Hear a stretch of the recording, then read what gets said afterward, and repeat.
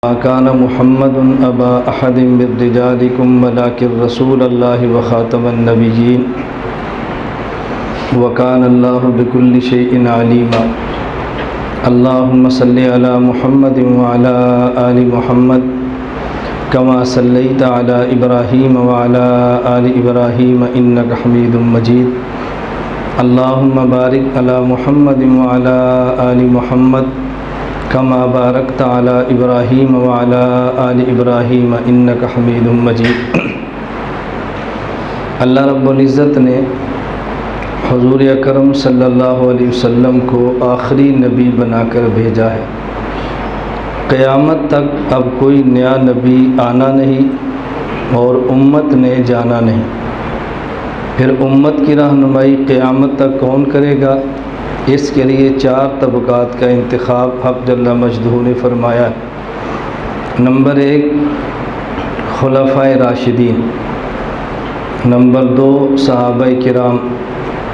Number تین فقہ کرام۔ اور نمبر چار، علماء اظام حدیث مبارک میں ہے، حضور اکرم صلی اللہ علیہ وسلم نے فرمایا، فَإِنَّهُ مَنْ يَعِشْ مِنْكُمْ بَعْدِي فَسَيَرَ اخْتِلَافًا كَثِيرًا۔ فعلیکم بسنتی و سنت الخلفاء الراشدین المہدیین۔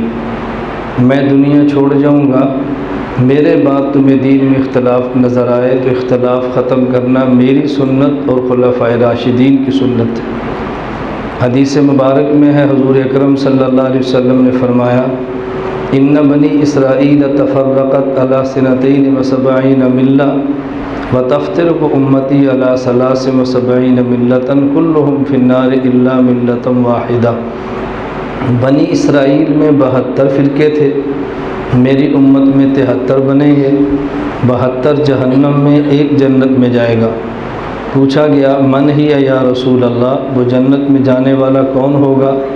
فرمایا، ما انا علیہ و صحابی جو دین مجھ سے لے اور مانا میرے صحابہ سے لے۔ یہ جنت میں جانے والا طبقہ ہے۔ اور حدیث مبارک میں ہے، حضرت علی رضی اللہ تعالیٰ عنہ نے پوچھا، یا رسول اللہ، ان نزل بنا امر لئی صفیح بیان امر ولا نحین فما تأمرنا۔